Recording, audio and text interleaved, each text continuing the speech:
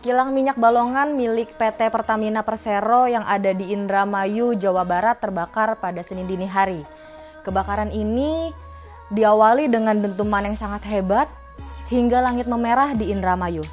Mau tahu selengkapnya? Simak Gen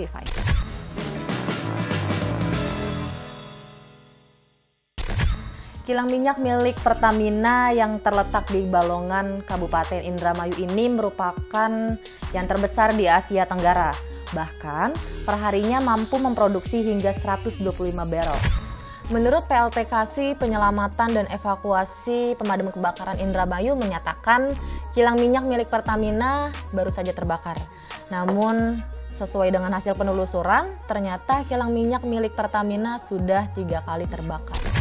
Berdasarkan data penanggulangan bencana daerah Indramayu menyatakan enam orang mengalami luka bakar yang sudah ditangani oleh RSUD Indramayu.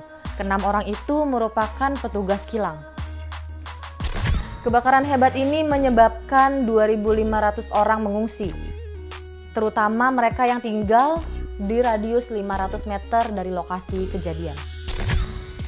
Kegiatan bisnis utama di kilang minyak ini adalah mengelola minyak mentah dari duri dan minas, kemudian diproduksi menjadi BBM, yaitu BBM, non-BBM, dan petrokimian. Meski begitu, Pertamina mengaku kepada masyarakat tidak perlu khawatir akan pasokan minyak.